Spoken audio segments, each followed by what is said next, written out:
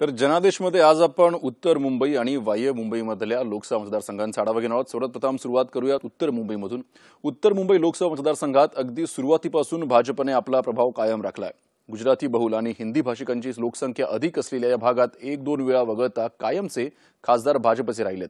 या लोकसभा मतदारसंघात बोरिवली दहिसर मागाठाणे कांदिवली पूर्व चारकोप आणि मालाड पश्चिम हे सहा विधानसभा मतदारसंघ आहेत. मालाड पश्चिम वगळता इतर पाचही मतदारसंघात भाजपा सेनेचे आमदार आहेत. घेऊयात या मतदारसंघांचा आढावा. भाजपासाठी सुरक्षित मानल्या जाणाऱ्या बोरिवली मतदारसंघातून दोन हजार चौदामध्ये उच्च शिक्षण मंत्री आणि भाजपाचे ज्येष्ठ नेते विनोद तावडे सहज निवडून आले होते. यंदाही त्यांनाच उमेदवारी मिळण्याची चर्चा असताना अचानक दिल्लीहून आलेल्या यादीत विनोद तावडे यांचं नाव कापून सुनील राणे यांना उमेदवारी देण्यात आली. तावडे यांच्यासह सर्वांसाठीच हा धक्का असला तरी या निर्णयामागची कारणं गुलदस्त्यातच आहेत. काँग्रेसने इथून कुमार खिलारे यांना उमेदवारी दिली आहे. दहिसर विधानसभा मतदारसंघ पूर्वी शिवसेनेचा बालेकिल्ला होता.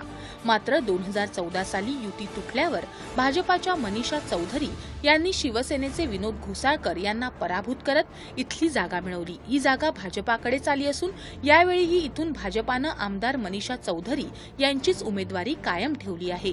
काँग्रेसनं त्यांच्या विरोधात अरुण सावंत यांना संधी दिली आहे तर मनसेनं राजेश येरुणकर यांना तिकीट दिलं आहे.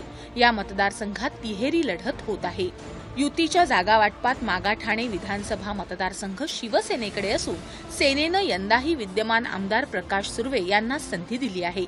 दोन हजार नऊला हा मतदारसंघ निर्माण झाल्यावर मनसेचे प्रवीण दरेकर यांनी इथून विजय मिळवला होता. तर दोन हजार चौदा साली चौरंगी लढतीत शिवसेनेचे प्रकाश सुर्वे विजयी झाले. दोन हजार नऊ मध्ये बोरिवलीत तगडी टक्कर देणारे मनसेचे उमेदवार नयन कदम यांना सुर्वे यांच्या विरोधात उभं करण्यात आलं आहे. राष्ट्रवादी काँग्रेसनं इथून मणिशंकर चौहान यांना उमेदवारी दिली आहे.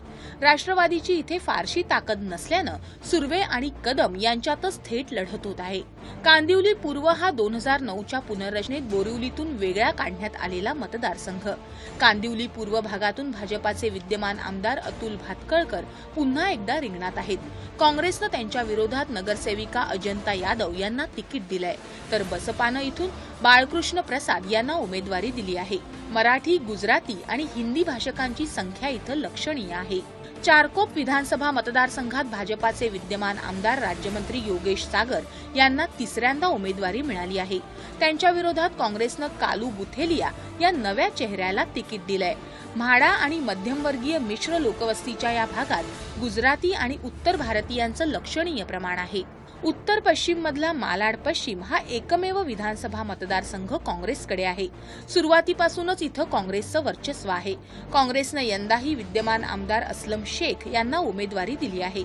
त्यांच्या विरोधात भाजपाचे रमेश ठाकूर रिंगणात आहेत. बसपानं इथून केशव जाधव यांना तर एमआयएमनं इस्माईल शेख यांना उमेदवारी दिली आहे. या मतदारसंघातल्या मढ आणि मालवणीमध्ये मोठी कोळी वस्ती असून हाही भाग बहुभाषक आहे.